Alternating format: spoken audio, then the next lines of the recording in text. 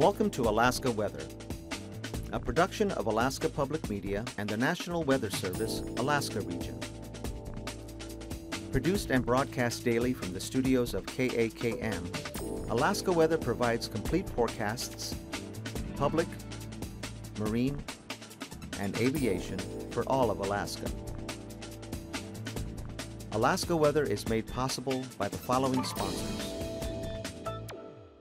When shopping for your family's meals, do you know where you can find Alaska grown products? Everywhere. They're available at your local grocery stores and farmers markets across the state. Alaska grown products are fresher and more nutritious, and buying local helps grow our economy. So just look for the Alaska grown label when you shop, or ask your grocer where the Alaska grown products are. Remember, Alaska grown. It's closer, fresher, better. And it's all Alaska grown.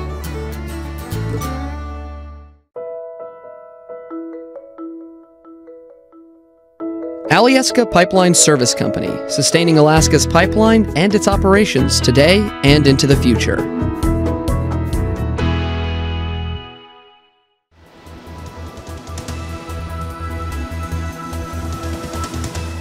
The National Weather Service. Welcome to Alaska Weather. I'm meteorologist Perry Dehne. This is your weather for August 8, 2016. Uh, you can follow us on, uh, on our website, weather.gov slash Alaska. Also, or you can email us at nws.ar.tvweather at noaa.gov. Starting off with tonight's hazards uh, in the uh, uh, Susitna Valley here, we have a flood advisory, uh, minor flooding that will be for along the Yentna, Yentna River there, and that'll be until 11:15 a.m. Wednesday. And this will be upstream and downstream of, of Lake Creek along the Yentna River. Start off with the satellite for tonight. Uh, as we put it into the loop, uh, we have this low pressure system pushing in and the cold front and the occluded front, uh, occluded front extending through the uh, south central, extending over uh, into the uh, lower Kuskokwim Valley as well. As it moves farther north, it's pushing the stream of moisture into the um, south central and farther interior. as of 24 hours, the Valdez and um, uh, Yakutat has received uh, 1.10 inches of, of precip.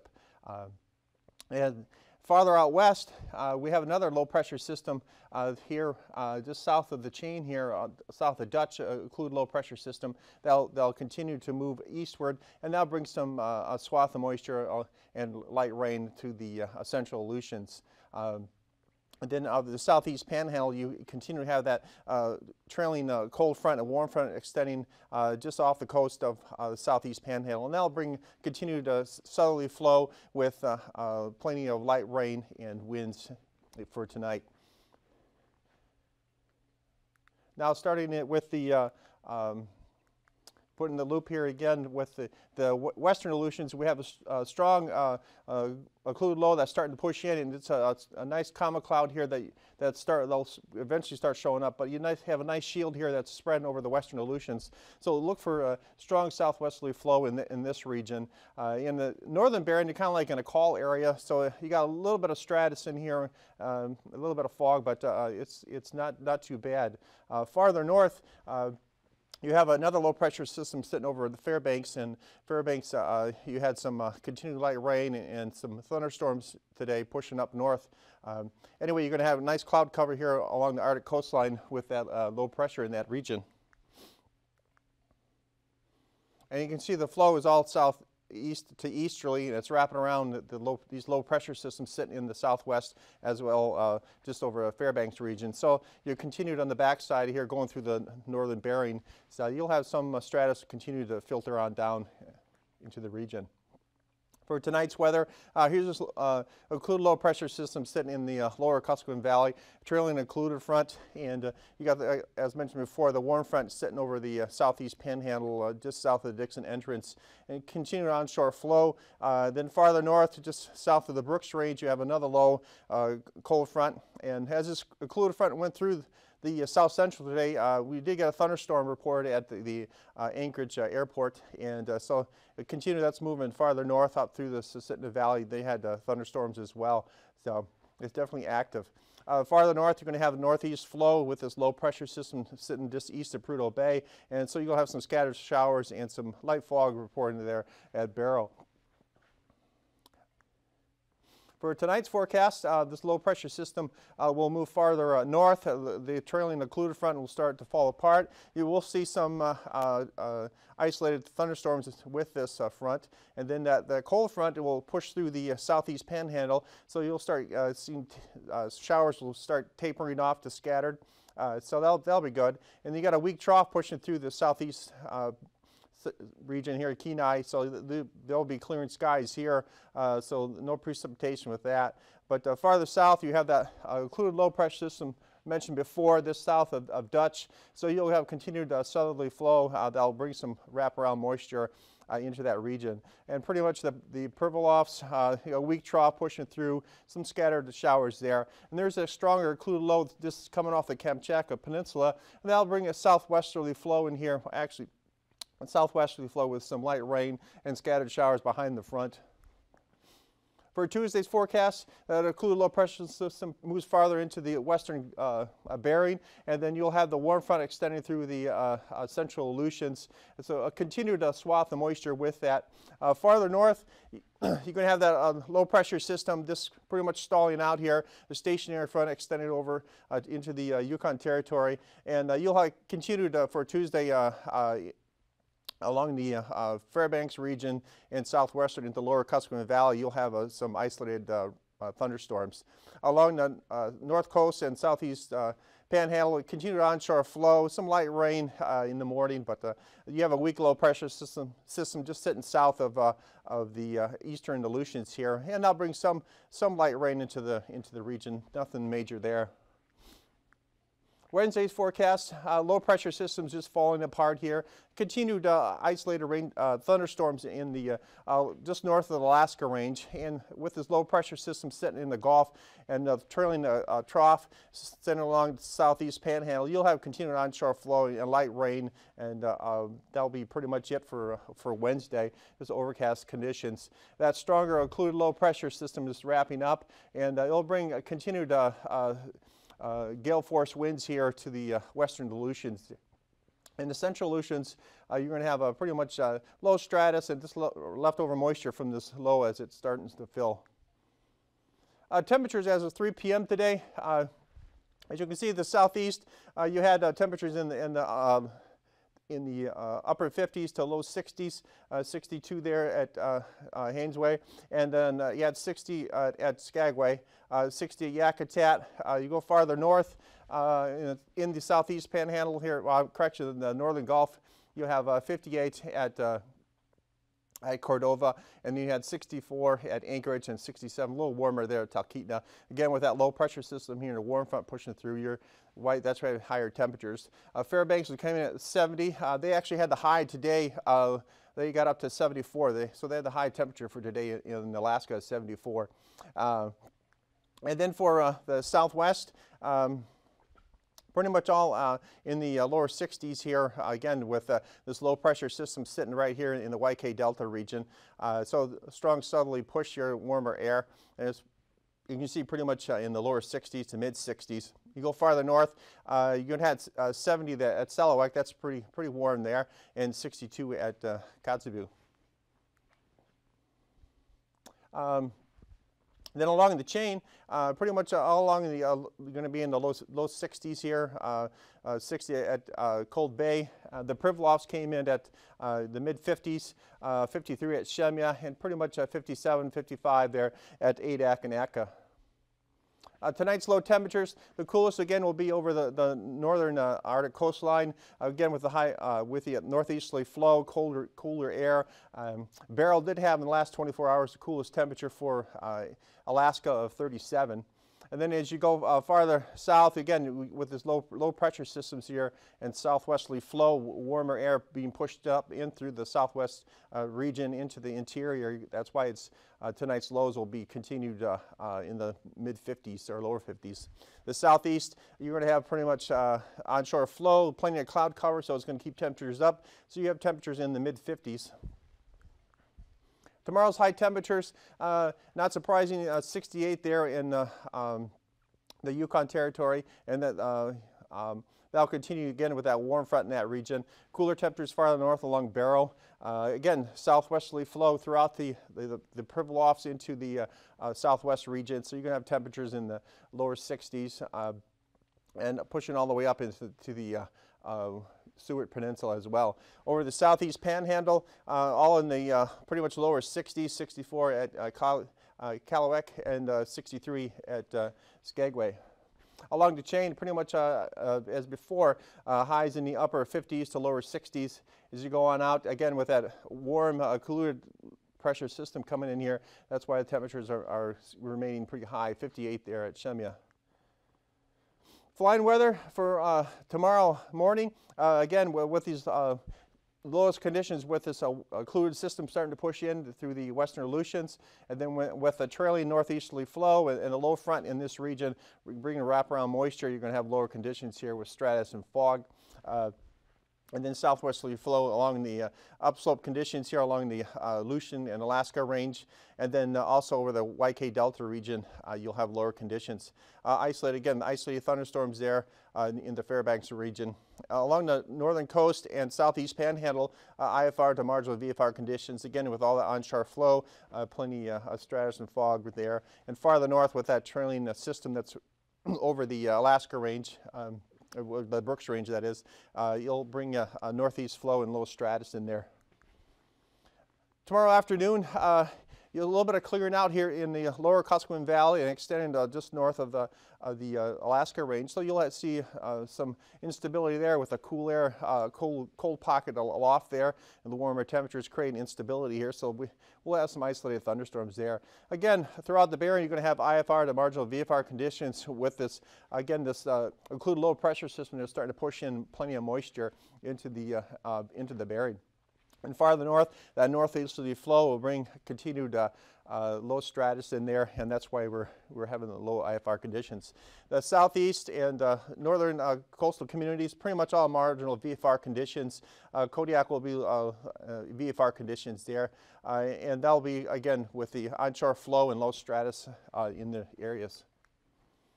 Tomorrow's past conditions, uh, marginal VFR conditions, uh, uh, marginal VFR conditions.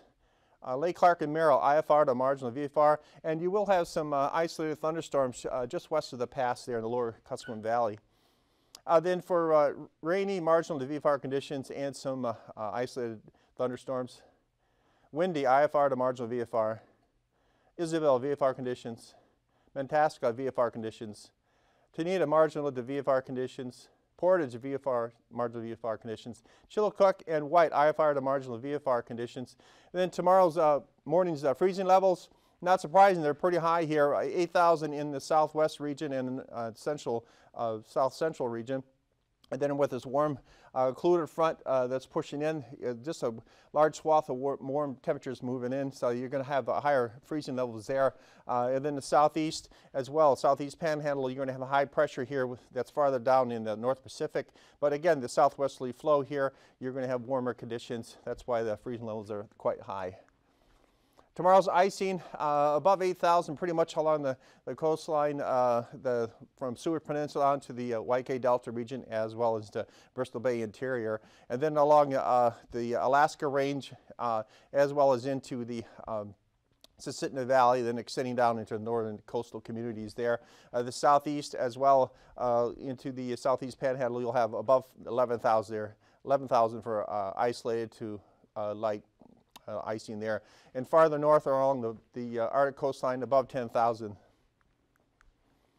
Tomorrow's jet stream, again, uh, this same pattern here, strong northwesterly flow coming across the Kamchatka Peninsula into the westerly flow as the transition to southwesterly coming up into the Gulf. Again, this, this sets up a nice trough here through the uh, uh, Bering region, and it's a southwest flow just pumping in the moisture, as you can see, uh, we've had today. And then along the southeast panhandle, it Panhandle and transitions back to northwesterly 80 to 65 knots with this high pressure sitting farther south in the North Pacific. Farther north, you have a low sitting farther north in uh, the uh, Beaufort Sea here, uh, farther north there. Uh, northwesterly flow there 70, then becoming south uh, at 80 knots. Tomorrow's 9,000 foot winds. Again, these uh, double barrel lows here, a weak cyclonic flow around them, 10, 15 knots. Uh, the low, low pressure sitting over here just off of Kamchatka, a southwesterly flow, 15 to 25 knots southwest on the backside, or actually uh, northwest. And then pretty much you're a strong, a stronger jet here, uh, 45 knots there, just south of the western Aleutians. Over the southeast or um, the northern Gulf, you're going to have southwesterly flow, 20 to 30 knots, and then it transitions again with this high pressure here uh, to uh, east um, westerly flow, 20 to 25 knots. Tomorrow's 3,000 foot winds, again, a low pressure system weak, 10, 15 knots cyclonic flow around the low over the Seward Peninsula. The, the uh, Gulf and the southeast panhandle pretty much southwesterly flow. A little tighter gradient in here, 25 to 30, 30 knots, but uh, then it's all east, uh, correction, westerly, 15 to 20 as you go inland. And then tomorrow's turbulence, uh, you're going to have below 4,000 along, along the western Aleutians extending to Adak, and that's uh, uh, again with that uh, strong occluded system that's pushing in. And again, don't forget you're going to have uh, isolated thunderstorms along the lower Kuskokwim Valley and the north of the Brooks Range um, in that region. We'll be back after this with your Alaska weather and your marine weather.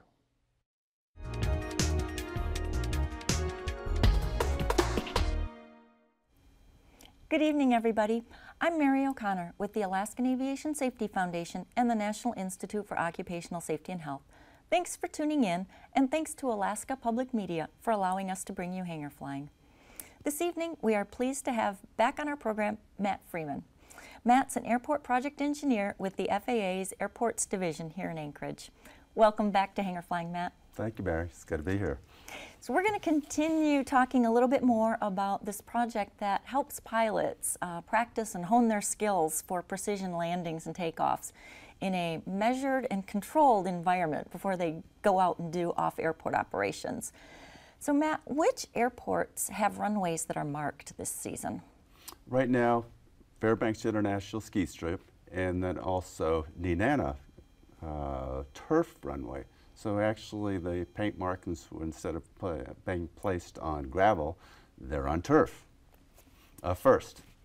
That's great. Um, any chance of getting any airports uh, closer to Anchorage marked? Well, I'd love to see them. Uh, we do have, uh, there are modifications to standards for the Wasilla uh, gravel runway, the Palmer Municipal gravel runway, Goose Bay, Goose Bay, of course, is gravel, and then there's also a, a gravel strip down at Soldotna. Um, I, I, think a, a, big part of it is getting uh, uh, volunteers uh, to go out and actually you know, do the work to, uh, to paint them. I mean, it does take time, it, does take resources, and uh, what, but what we found that when the gravels, when the practice gravel runway markings are out there to be used, pilots really like them. There's mm -hmm. really a, a, a, a, it seems like there's a, a great benefit of, of having an area to practice precision takeoff and landings. So I agree, and I absolutely see the benefit in having this available for pilots, and there are a lot of pilots in the Anchorage Bowl. Mm -hmm. What does somebody need to do if they're interested in having any of the airports that you mentioned um, marked and having it made into a practice runway? Well, of course, we have six airports that already have modifications of standards in place. The paperwork's done. Uh, the, the template for marking the gravel runways is done. Uh, my suggestion is uh, Tom George seems to be a good connection for uh, knowing groups that are, uh, uh, are, are interested in, in possibly gathering. and it also takes talking to the airport manager and making sure that they're their, uh, uh, the, the resources are set up, the runway can be closed, and, uh, and, it's, and the marking's actually done to the design standard. Okay, so we'd need to coordinate with the airport manager. Then it's easier to have a group. Plus, it sounds like a lot of fun uh, to get a group of people to go out and do the marking. And then, obviously, there's getting the word out mm -hmm. Mm -hmm. Um, because we'd want all pilots that are interested in using the runways to know that it's an option. Well, it's yes, exactly, and and part of that is uh, it seems that the word of mouth gets out uh, fairly quick. I mean, a place like uh, Goose Bay or or Palmer, uh, there, there's it seems to be a, a, real magnet for people that once they find out those markings are there, they're on them. um, so the people that go out and do the actual markings, um, as you mentioned, they're usually part of a team, but they don't necessarily have to be pilots. It can be friends mm -hmm. or even somebody mm -hmm. that just likes getting outdoors and doing something um, that's good with a, a safety mm -hmm. idea in mind. Um, but hooking up with one of these groups would be the best way to do that then. Yes, yeah. I mean, there, there's certainly an aviation component to it. And uh, uh, I think that the state of Alaska has, uh, has, has uh, with Goose Bay, have, have, brought some of their employees. I've gone over there to help out. They have the truck and the sprayer and so forth. Uh, Palmer Municipal, the, uh, 99 women's pilots were, were marking that runway for a while.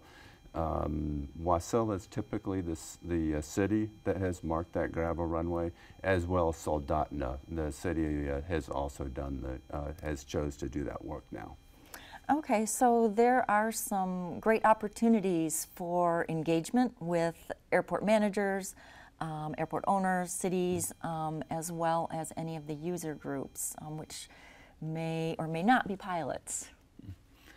Yeah, there, there are, and, and one of the benefits that we found with these uh, with these different users groups, and we've seen this in, in Fairbanks as well as uh, Fairbanks International Airport and others, is that the, the pilots are actually getting together with airport owner, the operations, and they're interacting, creating some great relationships, mm -hmm. and the pilots are actually able to go out, go out physically on the runway when it's closed and work on the runway. And it's, it's, it's, a, it's a new experience for, uh, for pilots to actually be, you know, driving a vehicle or walking and, and working on runway surface. It's pretty exciting for them. It's created a, just a great network of, uh, um, and connections that we hadn't really expected in the past. It sounds like a great opportunity all the way around. Matt, thanks for being here. It's been a pleasure to have you on the show, and as always, it's good working with you. All right, Mary, thank you. It's been great working with you. Thank you. Ladies and gentlemen, we hope you've enjoyed our show, and if you are a pilot, perhaps you'll consider uh, marking one of the runways and getting together with management and any of your aviation groups and aviation friends to do so. Thank you for watching Hangar Flying, and thank you to Alaska Public Media for sponsoring us. Until next time, Fly safely.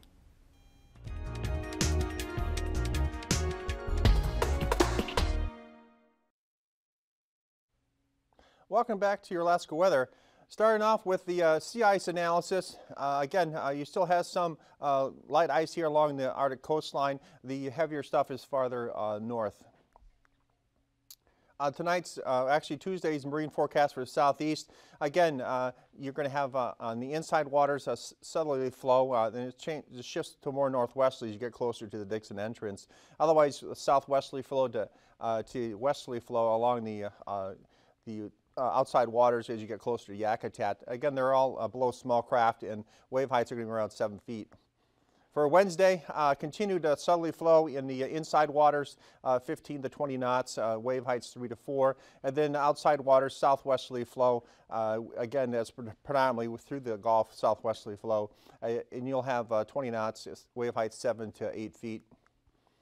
South Central, for Tuesday, the marine forecast, light and variable winds in the Prince William Sound region, but otherwise predominantly all southwesterly flow, again with that uh, uh, southwesterly flow that's predominantly uh, farther south uh, of the uh, um, south central. Anyway, uh, you're, you're going to have less than small craft winds on the, the outside waters here, 15 knots, waves 2 to 4 feet, a little higher there just out of, of the Cordova region. But the, through the northern Gulf, northern Cook Inlet and southern Cook, you're going to have five knots, uh, five feet that is, and then uh, southwesterly until you get southerly there in, in the Shelikof region, and wave, wave height's a little lower there. For uh, Wednesday, uh, light and variable through the Prince William Sound region as well, I mean the, uh, the Barren Islands region as well as into the Shelikof region. And then you're going to have a north uh, easterly flow coming out of the Prince William Sound extending down into the eastern side of the Kenai. And then southwesterly flow 10 knots up through the Cook Inlet. Uh, again, your wave heights are going to be two to five feet, uh, and then uh, three to five here uh, from Kodiak, uh, extending all the way up to Prince William Sound. For the Alaska Peninsula for Tuesday, you'll have light and variable on the Pacific side, then southwesterly flow 15 knots on the uh, Bering side, and wave heights uh, three to four uh, on the uh, Bering side and uh, six feet on the Pacific side. For uh, Wednesday, pretty much a southwesterly flow in the Bristol Bay um, region, two feet for wave height, light and variable as you get down to the Cape Seward Peninsula. Um, and then uh, you're going to have southwesterly flow uh, just uh, south of the Shumagin Islands and extending up to, you're going to have light and variable as you get closer to the southern end of the Kodiak Island. And then for uh, Tuesday, the marine forecast for the Aleutian Islands, predominantly all southwesterly flow. You're going to get uh, small craft winds in here, a little stronger as you go farther out towards the, the Shemya. Again, with that strong uh, front that's starting to push in and the warm front. That's why they're picking up more. Uh, the, along from Dutch uh, southwesterly flow, a little weaker, 20 to 10 knots on the Pacific side. And then for Wednesday, uh, predominantly all southwesterly, small craft again. Uh, again, the, uh, you're going to have gale force winds southerly at 45 knots, wave heights 22 there at Shemya, and, and extending uh, eastward to uh, the Rat Islands region. And then southwesterly flow on the Bering on the Pacific side, 10 knots, 11, 10, 10 feet to 11 feet on the, uh, on the Pacific side. And then for Tuesday marine forecast, light and variable again through the through the um, boy, the St. Matthew Island region as well as to Nunivak Island, and the northerly on the northern Bering. Wednesday marine forecast, southwesterly flow through the uh, the uh, Bay region, and then light and variable along the, the coastline predominantly, uh, easterly there from St. Matthew Island. And then for uh, Tuesday marine forecast for our coastline, predominantly all northeasterly, 15 to 20 knots. And then for Wednesday, predominantly all northeasterly flow, uh, 10, uh, 15 to 20 knots, wave heights 5 to 6 feet. And then for tonight's forecast, you get that low pressure system sitting over the, the uh, Seward Peninsula, uh, weak trough over the uh, northern Gulf. You're going to have uh, isolated showers farther inland. And then an occluded low that's farther south of the chain here. That's it for your weather. Join us tomorrow. These forecasts are to be used for planning purposes only. Call 1-800-WX-BRIEF for a formal pre-flight briefing. Always file a flight plan before you go flying. The U.S. Coast Guard Auxiliary urges you to leave a float plan with a friend or the harbor master before you go boating. Alaska Weather is made possible by the following sponsors.